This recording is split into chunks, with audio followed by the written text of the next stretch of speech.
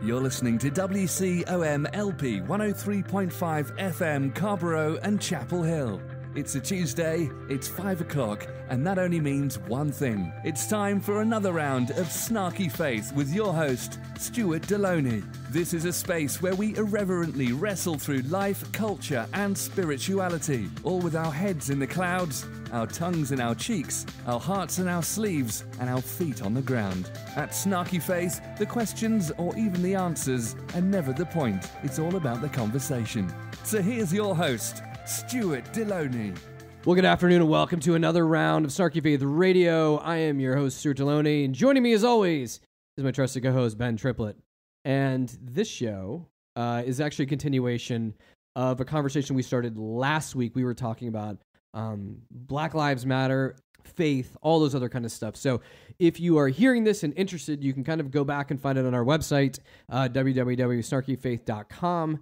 And so, kind of teeing up on this show, um, that may or may not have anything to do with what we talked about last week. Uh, even though we did talk about Pokemon as well too. So I was going to ask you, because in this again, for those of you, if any is, if any of you are approaching the show like for one of the first times or um, as a listener, a lot of the heartbeat of what we're going through here is we like to talk through culture, spirituality, faith, religion, uh, things that are going on um, and what it means to hopefully uh, be a Christian in America. And a lot of us, we have conversations about pointing out the hypocrisy of Christianity in America and other things like that. And so you could say, Ben, that we like taking a snarky, satirical, sarcastic, Mm-hmm. critical approach to most things in life. Mm-hmm. Or not most things, a lot of things in life. Sarcasm. Ooh, that's still pretty. That long. is came in pretty hot. Let me we'll turn that down. Um yes, okay, so that you would say that is true. And the way that we tend to look at stuff, I mean, I don't know, we, we're probably a bit jaded. Would you agree?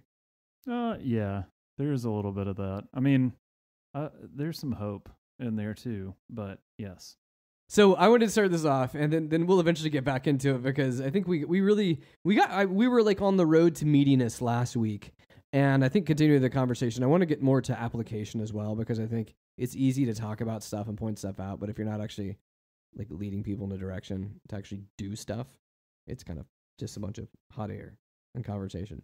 Um, and there's plenty of hot air on the radio today, especially talk radio in this area. Because you know what? There is no. I'm sorry. This is okay. Things I hate.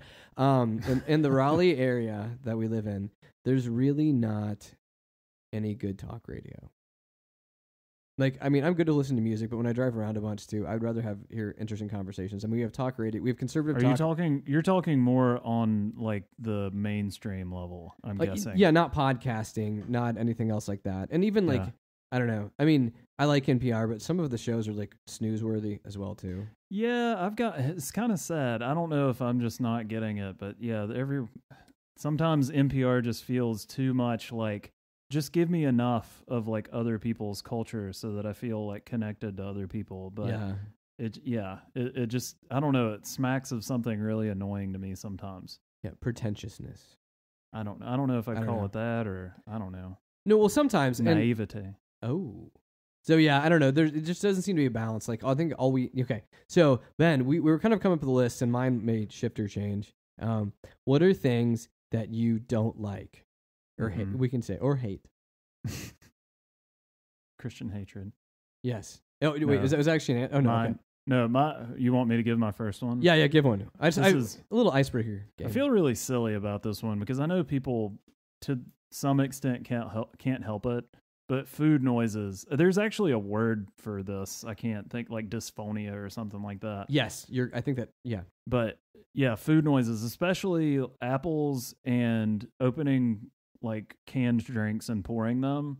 Just, I mean, it's gotten to the point to where it almost makes me sick. And I feel this like really big reaction when I'm listening to it. Um, I think probably where it gets the most annoying is where you're in a captive position, like you're in a classroom or you're in some sort of like place where you have to be there, like you can't leave. Yeah. And someone now, if you didn't have the chance to eat lunch or something like that, I get it. But if you like had a chance to have lunch and you chose not to, but you chose to eat your noisy food while everyone else is forced to be around you and it's kind of quiet. That all of those things together just create a situation that like prickle me inside. And you don't understand. I have low blood sugar. I have to all the time. why didn't you do No, it I'm like kidding. 15 minutes ago? No, I know. Um, Yeah. Ugh, it just I don't know, and that kind of rolls into another one of mine. But Okay. I'll, I'll let you go Oh, with one W- One, one stupid one I had the other day, and you know what? It, anno- it annoys me no end. I just I think the Big Bang Theory is stupid.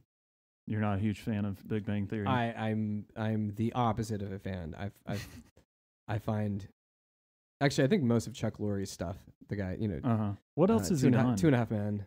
Oh Um, yeah, I'm I- not a it- huge fan of that. Where where the humor is just uh, a too on the nose. it's it's too obvious. Yeah, Like where you can see the joke set up like a mile away, right. and where the acting is not particularly good to begin Yeah. with.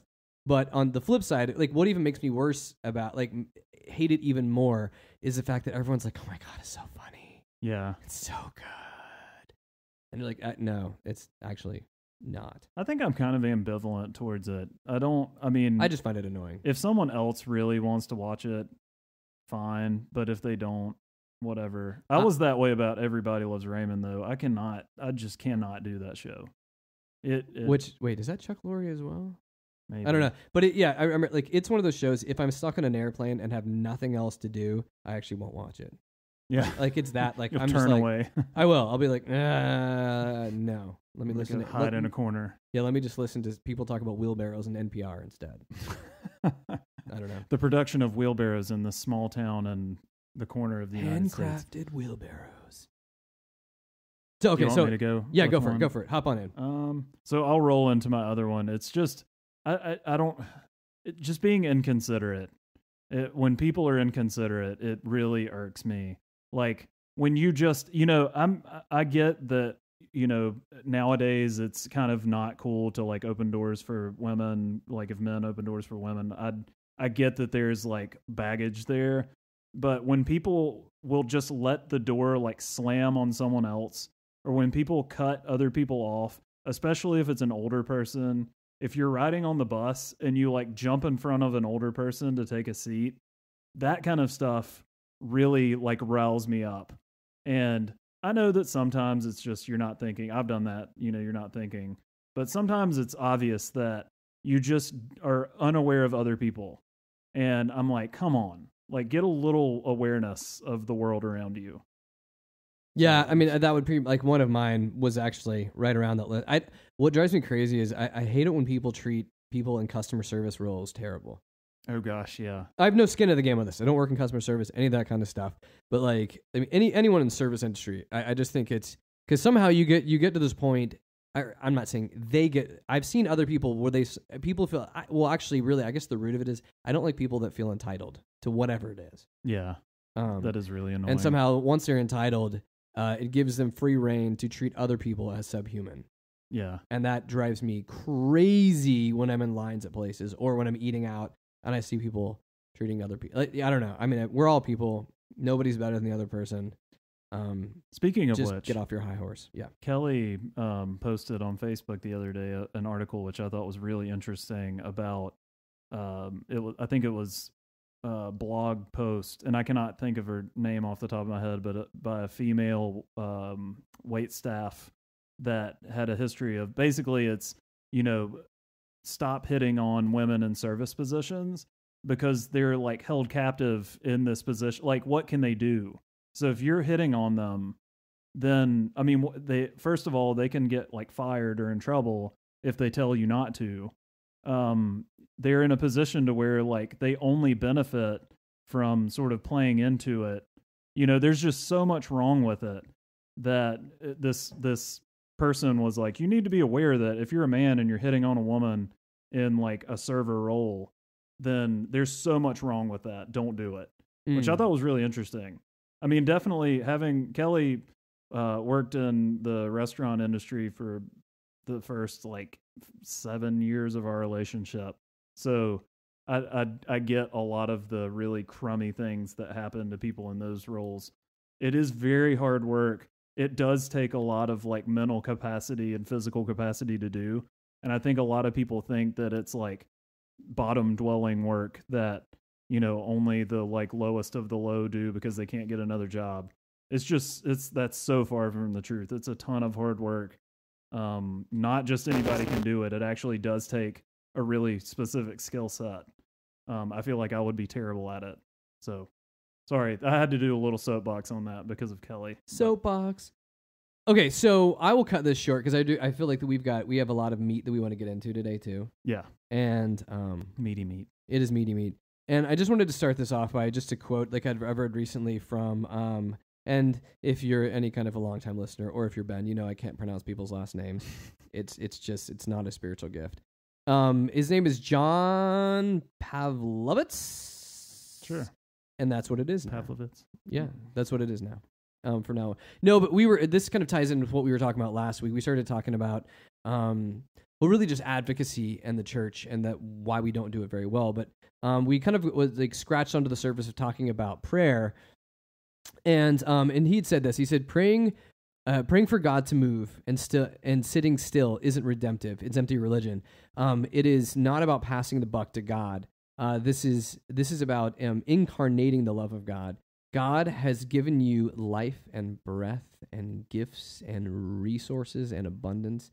And if you stop hoarding them so much, uh, you may soon find that the space around you becomes less and less horrible. Um, if you dare to step outside of the laziness and selfishness and apathy, you may find that you're no longer content just to pray. You may feel burdened to become the answer to prayer and I don't like using like the term watered down. Mm-hmm. Um, but maybe it's ineffe- it's ineffective. Um, but I just I just feel like yeah, I, I just I, ineffectual. ineffect yeah. I mean, I think that I, I feel like the the way like the American church has really gone and um and made made like the message and like really the passion of Jesus very uh palatable Mm-hmm. um, or very easy, or we don't talk about the things that are very difficult to talk about. Um, because you know we, we've we've got to fit in a sermon and get everybody out within an hour. Yeah. And I think we I think we don't allow our brains to kind of explore outside of certain boundaries. And I mean, I understand to some extent we are like bound by things um in our thinking, but to to other extents, I think we're too bound. You know, it's like I, I know for the longest time, this is an example it was it was very hard for me to you know i knew that god was supposed to be all powerful and like in all places at all times and you know there are just these sort of strange rules that we're imposing on god and you know i'm not i'm i'm not like on one side of the fence or another about that currently but i do know that it's helped me to be able to think of and and like connect um in my like faith in a different way with God to think of him as like listening when I'm praying or you know something like that where you know in growing up you I, I learned at least in churches that God doesn't change. Like God is changeless he's immovable immovable um but then when you pray it's like what am I doing at this point um, I'm just sort of speaking words into the air. And, you know, a lot of the criticisms of the church, I think, come from the mindset that that's what prayer is. It's just people sitting around like throwing words into the air. Mm. And so it's almost like feeding into that criticism. Um, whereas, you know, thinking of God in more of a Jewish way, where you are arguing, you're having a conversation, you're you're sitting down and you know, you're still kind of like bonded to God and and you're bonded to one another, but you're also you're bonded in such a way that you don't you're not scared to at least say, you know, hey God, uh, something's wrong in this situation, and you're God. Why why aren't you doing something about it? Mm. You know that in in the churches where I grew up, you would absolutely not do that. You would have to throw out like ten qualifiers in your prayer to say, God, we know that you know this. We know that you care about it. We know, you know, it's like defending God Mm. from from uh you know or defending our brains from having to think about god in a certain way whereas you know and there i do think there's kind of like an inherent danger you don't uh, there is sort of a, a humility in not just going out and saying whatever pops into your brain. So, like I said, I do think we're bound in certain ways, but I, I just think we've lost that. And and when you're talking about things becoming sort of ineffectual or we've like toned things down so much, it's because we we want to fit within all of these rules that we've picked up along the way, versus just sort of like making it a an actual thing like in the moment where we're talking to a being that's actually listening t- to us if that makes sense Yeah, look, well, actually, you said something. You said something that was kind of curious, um, and you were saying like that, that we have all these rules that we kind of have to follow along the way. Um, do you think sometimes like the inactivity uh, within within Christianity? Do you think it's like some of that has to do with the fact that we feel like we have to get all of our stuff to get done and together? Like we have to figure out how we're living all of this out first before we take any action. I definitely, yeah. I mean, there's definitely that. There's this sort of guilt component of, and I've, and again, I'm speaking a lot of like my growing up, my like heritage and certain conservative evangelical churches. Um, I know that different people have different experiences, but yeah, it's sort of that you almost feel like you can't do something because you're so like guilty of what you are doing now Mm. that it's like I want to wait until I get this right or like I feel like I need to pray in this certain way to for things to kind of like resolve before I can go out and do this thing. Mm. Um so and I don't know, it's like guilt and shame become so paralyzing that nothing ever happens.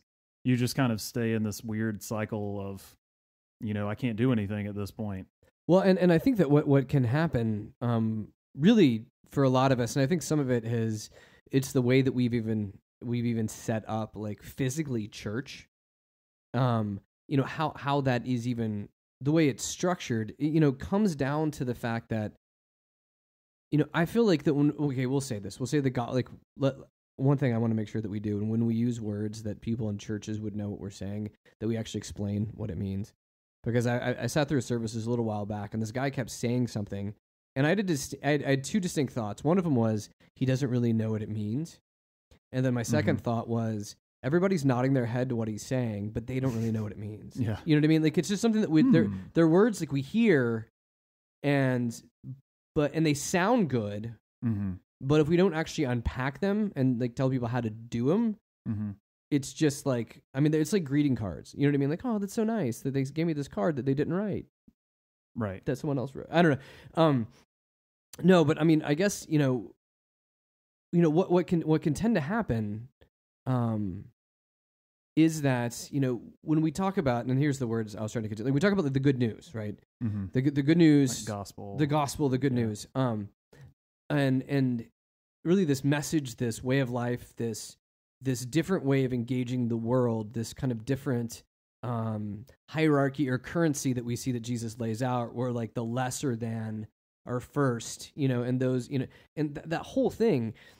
I think that we spend too much time, and I think this is also an American problem. We we we spend a lot of this time um, intellectualizing it Mhm. like I can understand this. I understand the facts. I can spit it back to you. I can uh, quote this or retort. You know, all this kind of other. Like I know it. Like I know all of this stuff. But I think that none of it actually makes sense until you do it. Right. Um, you know what I mean? Like I feel like there's no way for you to even fully under like or even halfway understand these concepts unless you get out and do it. And and the way you were even describing the way that a lot of us view God, I mean, I don't know if this is a fair um, example, but it's kind of like playing like. Have you ever like?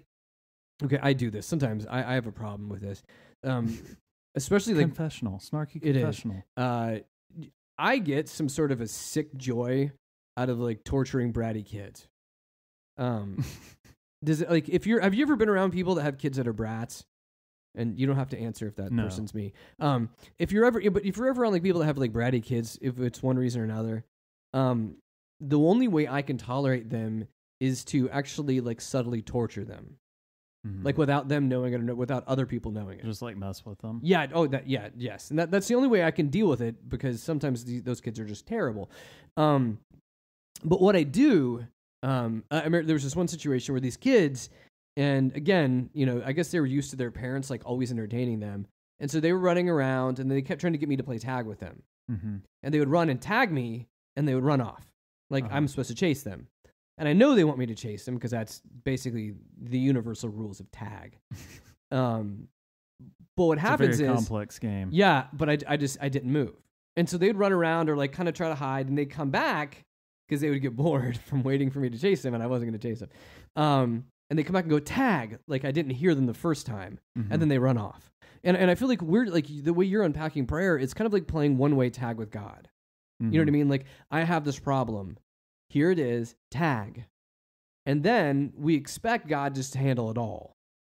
Mhm. You know, and somehow not engage us with it. That somehow that they put the correct way to play tag is that there's there's a, there's a back and a forth, Yeah. you know, to this. There's there's a direct there's an engagement towards playing that game. hmm Um I need you to play the game. You need me to play the game because like one person tag really makes no sense. Right. There's Like- like, an expectation. Yeah. that something else might happen out of this, not just we're gonna sit sit here and like talk about something. And I feel like I, am kind of reiterating myself over. and No, over, no, no, but it is. I mean, I feel I feel like what ends up happening is the like the way we view prayer. We don't see prayer as like uh, having um that I think again. I just want to clarify this. You know that I, I'm not saying that prayer is worthless. Um, I think prayer without action is worthless. You know, Yeah, because I, th- I think uh, like kind of at least what I'm getting at, and I feel like what you're getting at is the way that we're praying is it, it's weird. It's like um, I- I, I feel like it's a type that it really reflects kind of where we're at culturally, and that it's very distant from what you see in Scripture, even though that's what you kind of pick up on and and think that you're doing or accomplishing in praying in church. But it's very different from what's actually happening in scripture in prayer. Yeah, because it is very passive it's very disconnected. It's not connected to like a history of struggle or frustration. I mean i'm thinking of like you know jesus talks in parables to kind of explain himself um the widow that goes to the judge and is just like bugs him over and over and over and over again because she's in a situation where that's like the only way that she's getting out of this situation. And so, you know, it's like Andy Dufresne in the uh in the prison that sends the letters over and over and over to get the library. He's in he's in like a position where he's powerless basically. This is his only option. So he's like, "Okay, well, you know, if this is my only option, this is what I'm going to do." Um which is It- a Shawshank Redemption reference. Shawshank Redemption. Yes, sorry. Um, so you know, I feel like if you're like we we're not quite in that situation in prayer a lot of times in in the the American church that we sort of come into a building, we all like feel something for a little bit, and then we go back home. Um, versus like this, we're going to bring our lives into this place, and we're going to make that sort of the subject of prayer. Um, but I also want to I want to pick up on another thread that kind of like carries over from the last show. Just asking, like, who's in in whose self interest is is this? Because I think that's another problem, um, and especially that ties very strongly, I think, culturally to where we're at in the United States, and we you know come from a culture of capitalism where sort of the idea is even though people are following self-interest you sort of assume that everyone is going to follow self-interest anyway that that's the way the world works and just sort of let people do that and it and it ends up benefiting people. And it gets very like weird and scientific i think the actual um, people who write about capitalism and things like that. But i just feel like jesus he he almost went completely opposite of that that it was he did things that were not in his self-interest he did he did things that were other interested and i think that prayer at least in my experience prayer often is very self-interested. And i'm not i don't think that it's it's wrong to like bring things that you know because i would be contradicting what i just said earlier about being in a situation that's connected to your life. I, I think that god does care about what we're we're in. But i also think we have to ask you know is everything i'm saying to god or is everything that i care about in the world about me and about the things that i'm worried about right now And, or and by me, you mean me. me yes No, me. no, me. no me No, me personally. me oh, Okay, keep going. Sorry. so I because and and I, the reason I'm bringing this up is that again is tied to this sort of cultural unconscious that we all feel that we should act in our self-interest but at that point, we're just kind of following status quo versus maybe we can think about other people's interests. And I really, I say that mainly as a white man um, because I think, you know, my life has definitely not been quite as hard as other people. So for me to act in my self interest is going to keep things the way they are. And obviously, Jesus did not want things the way they are. And when I look around in the world, I don't want things to stay the way they are. No, no, and you're right about that, and that ties in too because I'm gonna I'm pulling this up on my phone. I'd, I'd actually had um, somebody reach out to us. Again, we love questions. Questions at snarkyfaith.com. You can ask us this. And so someone was just asking us that I got um, just recently about you know uh, churches. They say we're saying they talk, and it's really weird that this ties in that well. Um, you know that people like to say that in, in churches that our whole goal is to be more like Jesus, right? Mm-hmm. Um, but she was like, why, why does that never happen? Like, why, you know what I mean? Like, we like to say it and we say that over and over again, but why does that not happen? Mm-hmm. Um, which I think is, again, tying in with what you're saying about this whole idea of self interest and about action and about advocacy, because it just reminded me of like in, uh, in First John, uh, what is this? First John 3, like 17 and 18 says, um, if any has material possessions and sees his brother in need, uh, but has no pity for him, how uh, can the love of God be in him? Like, dear children, let us not love with words or tongue, uh, but with actions and truth. And um, just based on this translation here, you have to also understand when they're talking about uh, not loving people with tongue, that means something very different in the context. Hello. Yeah. Um, no, no, but but you're right. I mean, Ben. I mean, I think you're right about that. I mean, I think that there is this huge deal with self interest and how that. I mean, I know we like to say it's a capitalistic kind of manifestation to some degree, you know, Mhm. in many ways. But you know, to some degree, I mean, I think since the beginning of time, humanity has a problem with selfishness. I mean, You know what I mean? And I'm not I'm not saying all of it, but I think some of that, I mean, I think A, that's just it's a human problem, but B, I think on top of it, capitalism feeds that aspect of us. Yeah, I think the thing that bugs me, I guess, and this is this might be just getting into intellectual problems like first world problems. Um, but that is the starting point for so much of the way we think is that the world is all self-interested, that we're all out to get one another and creating a system based upon those assumptions versus maybe that's not necessarily the way the world has to be um, that that that might be kind of a deeper assumption that we're not trying to dig underneath as well. Um, and again, like I'm I'm getting this from like Nietzsche and Deleuze and Marx to some extent was you know these guys were like questioning. I mean the the Western world has thought of its world in that way for hundreds and hundreds and hundreds of years, and it has produced capitalism.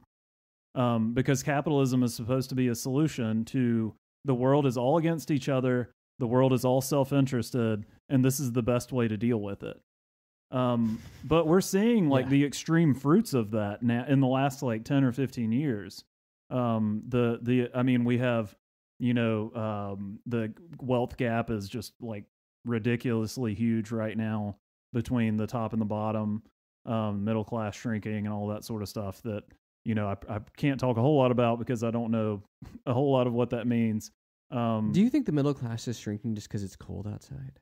Maybe. Oh, Like with the water being shrinkage. cold? Yeah. yeah. That why?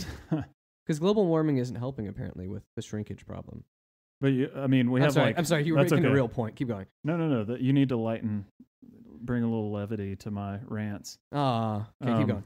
But you know, and and people are commenting that political extremism has is kind of a result of this sort of like wealth gap and so I don't know we're not headed in a great direction so I would like to think that Jesus offers something different than self-interest and that's why I want to bring it up I actually I'm thinking of an example I don't want to bring any specifics I do have like one or two specific things in mind when I'm talking about this but I'm not going to say them because someone might like this book or movie or TV show or something like that, and then they'll get their panties in a bunch because um, I'm, oh, please, please, please. Half the point of the show is getting giving people a reason to get panties in bunches. well, there there are plenty That's, of that's or sorry, that doesn't work. bo- keep going, boxers in a bunch or um, Yeah, no, yeah. th- there there are plenty of the same type of thing, so you can probably just pick any of a lot of them are made by Disney, so Um, but it's just like the stories of you know I'm a so and so like white person that went into some sort of desolate situation, whether it be like a school system or um, you know uh, an, a group home or another part of the country or another like country in general. And I noticed this problem, and I did this one thing to help people, and you know, and it benefited them. And those stories, you know, I'm a sucker for them. Those kind of movies and this like genre that has come about in the last like 10 or 15 years, it feeds that part of us that knows that there are wrong things in the world and that we need to do something about them. What bugs me is these people that have done these things make their whole like career off of them. Yeah. And so like 20 years later, they're the so and so person. And they, you know, they have profited so much off of it. Whereas uh, or like how much of the, and, and I'm again, I don't want to be too specific because I don't know specifics of every one of these stories. But how much of that profit is going back to fixing the bigger problem yeah. versus you did this one thing in this one place and now you're like a celebrity for doing it. Um, and, it, and I don't know, that just like irks me because it kind of reflects this like inherent self interest in our culture that we, even though we're helping people, there's still like self interest at the bottom of it. And I, I just feel like Jesus offers something very different than that. No, no, you're right. I mean, like, because nobody wants to see a movie. Well, again, because I, I, uh, um, you know, kind of moving back into this, that you know, people going into situations and trying to fix them, right? Inherently, is not a bad thing, or trying to help. No, not at all. You know, yeah. Um, but a lot of times, what you're mentioning too, it ends up being like there's the great white hope Mhm. that goes into a minority situation, Mhm. you know, um, and and then fixes it. But also, if when you think about these in the movies, so we'll take one. I mean, I know you're I, okay. I, I I don't know what movies specifically you're referencing, but some of them sounded like it has Michelle Pfeiffer in it and Gangsta's Paradise. Another, you know, those kind of. What movie was it, anyways? You know what I mean? Uh, Dangerous Minds. yeah, there you go. Actually, you know- that wasn't the one I was thinking Oh, of okay. to begin all of this. but- okay. Um, But, or I mean- or, or stuff with Sandra Bullock adopting Um, a yeah, poor. that was one know. that floated Um, into my head. So, um, sorry, I just wanted I wanted to to, to get specific on something. You still you still didn't get get it, but ah, there was okay. one. There's a very specific one that is very similar to a lot of the ones you've mentioned. So. Okay, okay. Um, so no, but with that, like, think of these these these movies. So you have somebody come into a situation, right? Um, and oh, were you talking about the one where where the, there's like these poor privileged private school kids, and Jack Black comes in and teaches them music? Is that no? That's it. okay. Um, perfect. But um, no, no. But I'm saying like nobody wants to watch a movie where you're at like year ten. hmm you know, in this type of a thing. You know what I mean? And Yeah. and in that genre, and I'm gonna probably ruin this. You know, you know what movie I think is terrible within all that whole. I Mr. Holland's Opus, I think is it made me want to vomit when I watched it. I was like, this is so like they put they pulled out every sappy situation for you to like to give you the weepies in. hmm And I know I'm still not hitting the one you were talking about, No, uh, but Ben will reveal it at the end of the episode. I don't know. if you just, gue- if you guess it, I'll own up to it. Oh, I don't know. Okay. Um, no, because I, I have to talk about other stuff on this show because I'll keep doing this. But um, no, but you know, we like to see somebody comes in. There's these people that have a problem. This person fixes it, and everybody celebrates and hugs each other at the end, right? hmm like with, with these systematic problems, whether it be income inequality, whether it be uh, like race problems, you know, or well, I mean not race problems, but I mean folks like we've seen in the news, uh, you know, with cops killing, you know, African American folks, and you know, when these kind of problems, see, with systematic, deeper problems like that, you're not going to resolve it in 90 minutes. And I think that like our hunger for being able to consume stuff, um, especially with movies that that need to give us the good feelies as we're watching them. Um, you know, it needs to have a nice resolution so we walk away feeling good about ourselves. You know, like like we don't want to watch it where 10 years down the line the government funding gets cut from this. You know, we don't want to see it where the success doesn't happen right away. And I don't I mean, I think that we do this because it doesn't feel like real life and it doesn't I mean, we want real life to give us quick answers hmm you know, you see folks that like, ooh, I'm going to take these pills and I'm going to lose 50 pounds in like 50 days. You know, we want those. We want that immediacy of it. But for real change to happen, and, and I mean, and also on top of it, when we look at this, I mean, ultimately, let's take it even a step back further. I'm sorry, I'm just doing lots of stream of consciousness here. Bear with me. You know, I think one of the goals when we begin to look at what is the purpose of this church is that we like that that Jesus had in this was to be able to give healing to a hurting and a broken world. Mhm. Right. One, I do not think people see the church as a place for healing in the hurt and broken world. Now, Mhm. if you ask church people, they would say yes because they feel like they've gotten their little healing inside the four walls. Um, but really, what we're also being invited into, hopefully, is a larger community of people that is a support system that is helping other those out, uh, others of those outside the church and everything else like that too. And I think that you know when we when we see what it was intended to be and we see what it is, there's a huge gap between those two things. Um, and and I think that that this whole idea of self interest and see, hopefully, I'm going to make a point out of all this after I, I, I did loop de loops. Um, um, the idea of self interest, like you said earlier, has really nothing to do with the call of Jesus. Um, the idea of quick advocacy has nothing to do with the long term healing of the world. Yeah, and I, I'd I'd agree with everything you just said, but I will just add a caveat that kind of my point is if you're going into it with the idea that I'm going to be able to create a career off of this, I, excuse me, I know, I'm going to be able yes, to you're right. You're right. write a book one day about this, or you know, I'm going to be the this person. That's that's not going to fix the bigger problem because you're still acting in self interest. There's it, it reminds me of a quote that uh, Dean Smith said at some point, um, coach of UNC basketball that has passed away in the last year or two. Um, he was talking about uh, someone, a reporter came up and asked him about like doing a sit-in type thing. It basically, he took one of his players to a restaurant that would not have admitted him otherwise, and I think it was something that you know people caught on to and said, due yeah, to that was due kind of to a, his skin color. Yes, yes, he was African American or is African American. Um, and someone, you know, a reporter asked him years, years later, you know, that that's really cool that you you did that, and you never really kind of own up to that it was a pretty big thing at the time.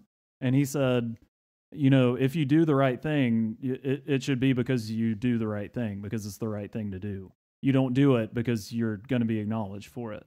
Um, and I'm totally butchering the quote. Uh, he probably said it in a lot cooler of a way. Um, and I'm not saying that Dean Smith is the bastion of all, or like the ideologue of all doing the right thing every single time in his whole life. He is one of my role models, so I'm biased. But I don't know that that kind of strikes at the heart of what I was getting at with the self interest piece. It's that we should be doing this because it's the right thing to do. We should Mm. be we shouldn't be doing it because we think that we're going to benefit out of it some down some way some point down the line. And I think what's insidious about self-interest in our culture is that it's buried beneath things that we're not really even conscious that we're doing things out of self-interest. It's that it's just sort of like an an uncon it's a cultural unconscious thing that, you know, it's okay for me to like benefit in ways off of this because there's a, you know, there's kind of a greater point. It's just you know, culture is is dangerous in that way. And the fact that self interest is really the almost the bedrock of our culture in the United States and in the West, that we really need to be careful as Christians because I just I that's like opposite of what Jesus, you know, of his starting point of his um sort of basis. And so I think that part of building the kingdom and making change is being able to sort of wake up to the ways that our culture is teaching us that it's okay to act in self-interest and it's okay to like profit and benefit off of helping other people um i don't know i'm i'm kind of ranting at this No, point, no, but I mean, I do you- remember- i don't know if you kind of get what i'm getting yeah, at yeah, there. yeah. No, because I okay, okay. So let's connect that point. Okay, to in many ways why we would say. I mean, and tell tell me if I'm wrong. If you don't agree with me, if you're not on this gravy train that we're moving forward here, um, one thing you know that that you're getting at, and I think some of these are some of the background steps to why we would say that the church is so ineffectual today, in many ways. Mhm. Okay. Self interest being one of those, being a huge one. And when we begin to like, um, because I was I, I'd been reading an article this past week that was talking about um that like when you look at like most American Christians, um, now they would disagree with this statement, but if you actually look at their actions, they this statement would ring true is that you know that many many American Christians would uh, trust the Second Amendment more than they would trust the Sermon on the Mount. Does that make sense? Like ba- based upon how they they structure their lives, how they live, and how they vote, and all this other kind of stuff. You you following Mhm. so far? Okay, and and then um like the core of that piece that that I was reading through, they they were um posing this question. Okay, so why? And again, and and this is still kind of like hitting into especially like like the violence issue that we're dealing with um in America today Mhm. and you know why is is the like american christian peace movement so small Mhm.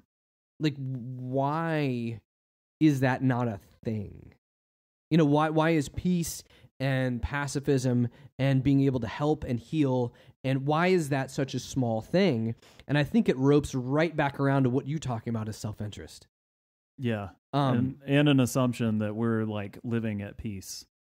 Some- that's right. somehow. Yeah. Well, no, Ben. If I'm comfortable, I'm at peace. Right. You know, but like, which again- have peace. Which is self-interest again. right. know, because- absolutely. Yes. Because even though, like, I would say this, you know, we talked about how like the middle class has having shrinkage issues, and I mean, I would say I'm not middle class, um, uh, with where I'm at in in the world, and you know, I'm not. I would say I'm probably low. low I mean, this is like economically and personally, I'm I'm lower class, um, because we Crass. were. Yeah, if you see us on our Facebook, we got called out by Trump. Um, whether that's true or not is up to debate. But uh, if it's on the internet, it must be true. Um, no, but so with that, Thank you. So no, but with the, you know the idea of being of a lower class, like I I am not a wealthy person. I will probably never be a wealthy person, partially because it's not my goal to be a wealthy person. Um, but when I look at that, you know, I can say this, like I I would say economically I'm I'm lower class, and but I don't I don't fear um the police. Right. You know, I don't and like it's easy to talk about the the culture that um that that we're seeing, especially with African Americans. But one thing that like doesn't get like the light of day is uh, the Hispanic community Yeah. We, Um, we about- don't talk about that. about any. about fearing the police as well too. Because I know um, I have a friend of mine that is pastor of a Hispanic church, and he would say he says you know that that a lot of people don't they won't go like there's people that'll be in their church that um, some are legal, some are illegal, uh, you know here in the United States, and they won't cross the street certain times of the day to be able to come to church because they're afraid of the police Mhm. you know so socioeconomically like i can be on the same level of a lot of these other people that are having issues uh, but i don't feel that pain Because if people if people don't know why, it's because uh, basically post 9/11, um, smaller like I don't want to say lo- I don't know how local, but more local than federal um, state officials have the ability to deport people, um, just because of things that happened with you know fear of terrorism and things like that. So there there were laws put into place for certain reasons, but this is kind of the impact that um, I guess non-federal um, state officials and or lower, I guess lower officials um, have the ability to deport people. So there can be like a traffic stop. You get picked up at a traffic stop, and you are back to some other country than the United States. Your life is completely changed. So just to like imagine that scenario, like I'm gonna go drive to the store, and I'm not sure if I'm gonna be, you know, come back home or I'm gonna be in another country in a week. mm-hmm. That that is horrifying to me, yeah especially if you left that country because of certain reasons that were already horrifying.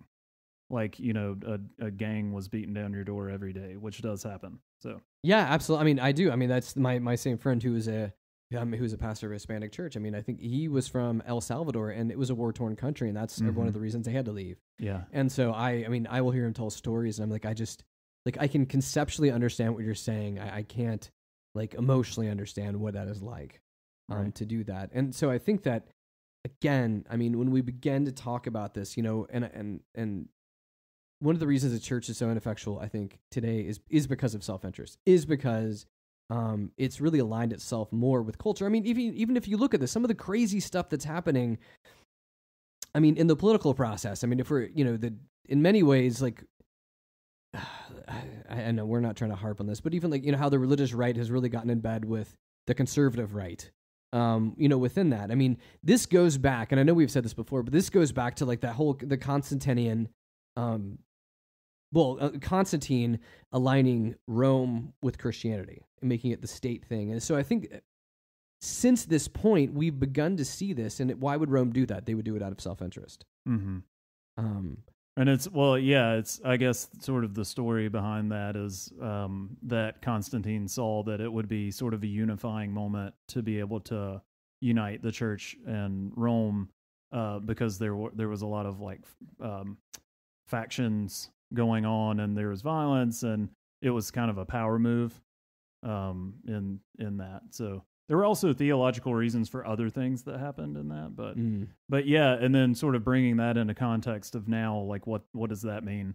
It's it's that idea that because I live in the United States, to be a good American is to be a Christian, and to be a good American Christian is to be a certain type of American Christian. which is a white one? No, I'm kidding. Well, I mean, yeah, in, um, in certain circles, I'm. That And- was that deserves sarcasm. I just want you to know that that was not. Sarcasm. Thank you. Yeah. That that absolves me of of being taken literally for what I was saying. But I also think I, I know that you've you've got a. I don't know if you wanted to bring in the um, Trump question at some point as well because it did. Did you already do that? Yeah, about the person that was. Yeah, that that was that that was the viewer question that I had Okay. about that was that because we had been we had been skewering uh, the Orange Messiah. Actually, it really wasn't.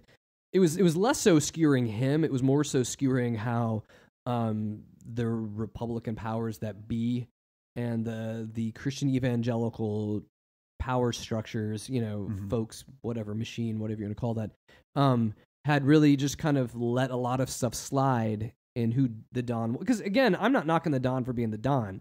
I think it's weird when we try to overly spiritualize him, Mm-hmm. you know, and, and put him on a pedestal somehow spiritually. Then you're like, what are you talking about here? How does that even make sense? And so the person listened to that and said, well, she was like, we had a dialogue back and forth, um, and it was really just about. Uh, Sort You of know, the if- religious aspect. yeah, I mean, like, and some of it was like, I think she was she taken it as we were just attacking Don. I mean, right. uh, Trump. And I was like, no, no, no. We were actually really we're attacking what's behind him and what holds him up in that esteem. And so that led to the conversation about, you know, she was saying, well, is in is is anybody are we holding anybody to the to the standards of Christ? Because Mhm. nobody does it. Yeah. And, and and and this is not about what her what what she was saying, but I, it is. I mean, I think that that it's still a trajectory that we're trying to live into the Mhm. ways of Jesus. Um, but I think that for us to begin to live into the ways of Jesus, it requires us to give up our self interest. Is really what But- you're getting at. You know, with that. And the re- well, the and the reason I brought that up is it just made me think when you kind of talked about like talking about this on um, the show, just how I think sometimes it's not that I get like defensive of a certain brand of you know pol- politics or or Christians or anything like that. It's that I think some targets are really easy, and it kind of annoys me in the media that you sort of fire off things like I'm thinking of the Daily Show was uh, sort of the main point of this that it's just to take shots at conservative politics because it's so easy nowadays. Because I really do feel like a lot of the country is moving more towards uh, being more sort of aware of other people and you know we have the internet now and Uh, it, it's just it is kind of a sexy thing to take shots at Republicans or the right or conservatism. And the reason I bring that up just getting back to the self-interest piece I think a lot of times we might educate ourselves on certain topics and like other cultures or you know we and and we kind of dip our toes in things or some people go all the way and maybe you know learn other languages and cook food and things like that.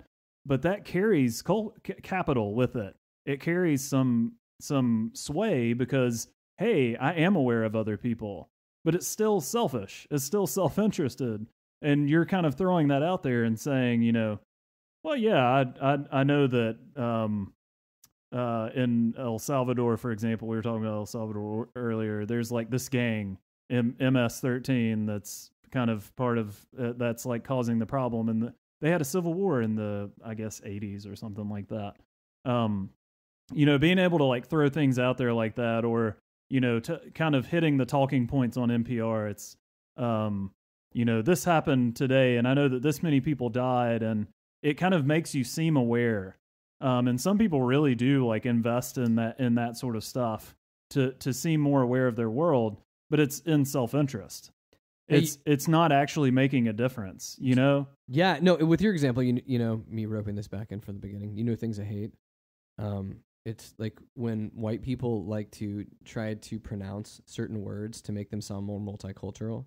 Mm-hmm. You know, like we have tacos and guacamole here. You know what I mean? Like, oh yeah, you know, where they throw those in, like, like they're like, overly. yeah, but like, but they throw it in, like not in the entirety of what they're saying, but they're just kind of like, look, look at me, I'm so cultured. I know how to say guacamole. Yeah, You know. and that uh, yeah that that was kind of you hit the nail on the head for me because that's kind of what I was getting at. It's this, um, and again, it's I think it's great. I think we absolutely need to learn about other people. I think maybe more importantly, we need to listen to other people.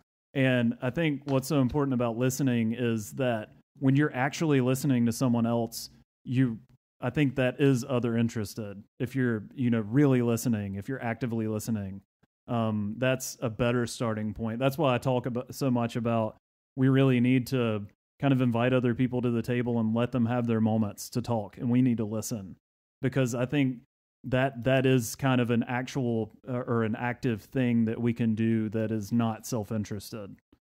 Well, and and with with what you're saying with with listening, um, that requires time. Mm-hmm. Yeah, You know, absolutely. I mean, we're not going to go and listen. Um, I mean, what tends to happen is you see all these like, and we we we've mentioned this on on the show and others before. You know, like we have these atrocities will happen, and then we'll do something for to show like solidarity, um, either like a march or a church service. You know, like oh look, we can be rec- we can be like. Let's show what ra- racial reconciliation looks like, which means we can sing together and have a church service together, you know. And I feel like that's fake advocacy when that, when that happens. I mean, I think to to listen um, isn't always even with words. You know, it, it's to kind of become part of someone else's life as well too. Mhm. Yeah. Um, so you, you're almost like listening just through life, like where I'm able to watch and to see and to do that. And you know, when we talk about wanting, um, when we talk about really wanting change to happen, what does that mean? What does it look like, nuts and bolts? You know, with the application point. Um, and as we are getting to the last little bit of, of the show, but I think that you know one of the reasons, and I'm just going to say this really fast, so listen to me as I talk fast. So, you know, you'd mentioned about how it's easy for culture to take pot shots at conservative Christians, and just my only the caveat to that is that's part of the reason why we have this show is not just because it's an easy shot, but because what grieves me in my soul is that I think there's the way uh, of Jesus, there's the teachings of Jesus, and then there's like the American conservative Christian church, and they're very different. Oh, absolutely. Yeah. And so I think we skewer to be able to point out the differences between those two. Because what gets me sick is when people say, "Ah, I don't like that because they're Christians," right. and, and my answer is usually, "I don't like them either." yeah. Yeah. Yeah. Um, yeah. um, I'm with you on that. and so as we say this, like, what are ways to do this? You know, it's easy to get outraged with what's going on in the news. It's easy to do that, but I think it's it comes with a posture of being able to look in your communities, look around, like in natural places, like for us to go, and so, certain people will be called there. You know, if there's horrible stuff happening, like in Paris or El Salvador or, Mexico, whatever, it's easy for us to say, I'm going to hop on a plane and go down there for a few weeks to help fix this, right? hmm I mean, I'm being sarcastic that we can fix it. You know, but I think that you need to be able to find where those places and where those rhythms that you can naturally fit, um, reach out to people, and that you can live into those places in a normal way. I mean, when we try to go leave um, our our positions and our places here for a little bit um, to go invest elsewhere, that's fine and dandy. It's it's good, but I think that the natural rhythms of life, it's looking for the, what are those natural rhythms where I can begin to bring other people to the table, and not simply just for the table for a meal. Maybe how do we start doing life with other people that are different than me? How do I um, not have this idea that we can be like a Disney movie with Michelle Pfeiffer in it, where we go into the inner city and fix these poor kids? Or You know, or that you know if i am going to be michelle pfeiffer and try to help fix these poor kids i'm not doing it from the starting point that this is going to benefit my career And yeah, i'm going to be the not you know, and not as an actress, as a fake school teacher. right as a school teacher that like you know wrote this book or whatever And I think that th- there's the assumption, which is the self interest thing, is also that we have nothing to learn from everybody else, but only it's it is us from position that we are the ones that have something to give. we're giving we're Yeah. blessing yeah and to kind of wrap up that thought too um, that we were talking about earlier yeah i'm totally with you on um, being able to show that christians are more than just what is often thought of as christians in, in the united states um, but also just to for people not to become complacent or feel that they have accomplished something because they've taken sort of the status quo position Hmm. of saying, "Oh, I've criticized like, you know, a conservative fundamentalist position." But to really always be open to, well, I might be being duped by myself or duped by culture still. That there might there's something else that I need to learn or that there's something else that I need to disavow so that I can become closer to what Jesus was, you know, teaching or doing. And it's one thing to critique, but I think that at least the hope in what we're doing here and hopefully trying to like wrestle out in our own lives is simply I mean, I think critique is important, but I think also action needs to be tied with that. Yeah, like we'd even said earlier, prayer needs to be tied with action. I think critique needs to be tied with action as well. Mhm. Um, and any la- well, actually, we are out of time right now, Ben. Uh, so as we get to the end of this broadcast, a reminder that you can catch us on podcast at www.snarkyfaith.com. We're on Facebook, we're on Twitter, but that is all we have this week, and we will be back again next one to give you more. Um, that's it. We're out of here. WCOM is listener supported community radio, and Snarky Faith is only possible through our sponsors. Aqueduct Conference Centre was established in 1978 as a peaceful destination for small group meetings, special events, conferences, retreats, and weddings. For more information, go to www.aqueductcc.com. We are also sponsored by Lumen. Lumen, a spiritual community of seekers, sojourners, question askers, doubters, and skeptics, is a collective of fellow travelers that embrace the truth that all life is sacred, hope is real, and tomorrow can be better than today. All are welcome. You can find more information at www.lumencommunities.com.